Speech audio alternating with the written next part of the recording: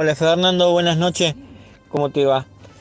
Eh, sí, justamente hoy hemos estado haciendo un análisis con el, con el presidente y viendo a ver si podíamos eh, conseguir o ver cómo gestionar el tema de, los cheques, eso, y, bueno, eh, estamos ahí.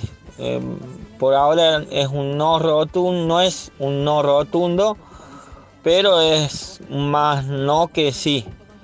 Y el tema es, creo que, el, de todos los clubes que, este año no entren en la liga, eh, es lo económico.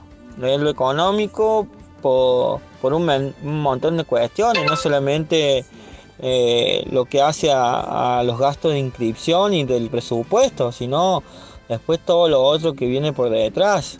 Entonces, eh, no, no creemos que el, que el club esté en condiciones de afrontar tremendo gasto que, que, no sabemos cómo generar después eh, para poder llegar al presupuesto anual del club. Eh, entonces, eso, cuando vos pones todas esas cosas en la balanza y, y, y pensás y, y, él, y, tratas de usar la coherencia desde lo administrativo y cómo, cómo se vienen haciendo las cosas eh, en el club durante estos últimos años, eh, bueno, es, como que se hace imposible de, no haber una ayuda extra, como, como, como pasa todos los años, ¿no?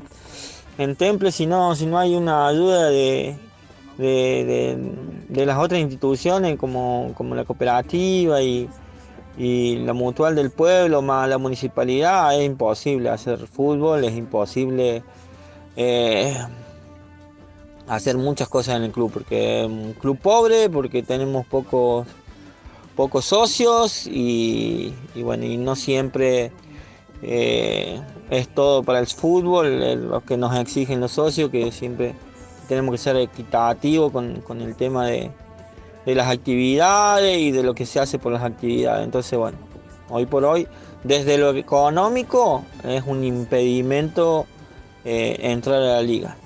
Eh, y mucho menos si no hay ayuda, obviamente.